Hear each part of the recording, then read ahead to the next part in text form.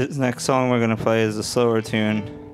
Uh, we get to travel a lot and meet a lot of people, and uh, sometimes all it takes is a little bit of a change of scenery to inspire you to think differently about something uh, inside of yourself. You know, not not necessarily something that that about the area that you're in, but but maybe something about home changes because of something you see somewhere else, if that makes sense, and the impact it has on uh, on everything that you already feel secure about in your own mind, and that's what this song is about. This song is called "Standing Outside a Southern Riot."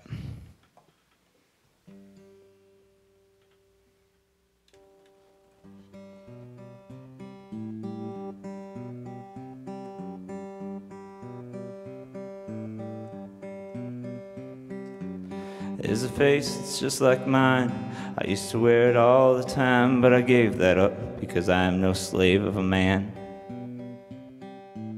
Sitting in my bed, I'm trying. Oh my God, I think I'm dying. And my poor mother's crying, confused and sad in the other room. But it tipped me off again. I used to think that I knew my friends, but it's not the same as putting away your pride. Laying in my yard and sleeping, wondering what house I'm keeping. Knowing I can run, but I can't hide. If there's a place I'm supposed to go, then why do I know what you don't know? Does salvation only come for those who need it? What's the point in being right, denying you have seen the light to wreck their faith because you don't believe it?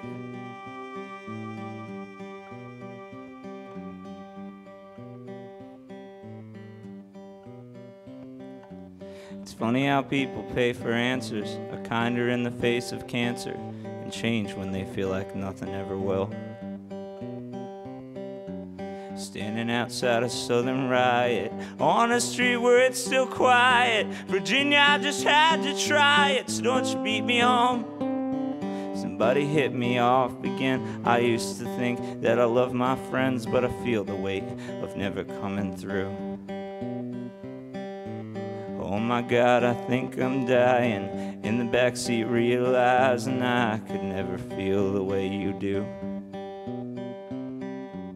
If there's a place I'm supposed to be, a reason I don't feel like me, a purpose and a gift and a receiver.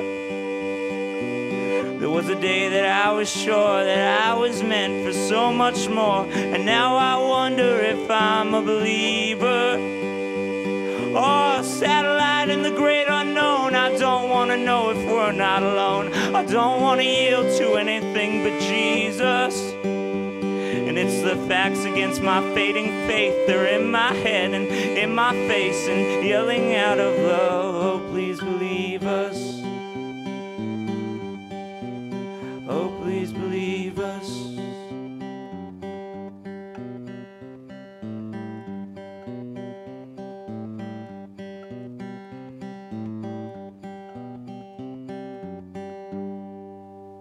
Thank you.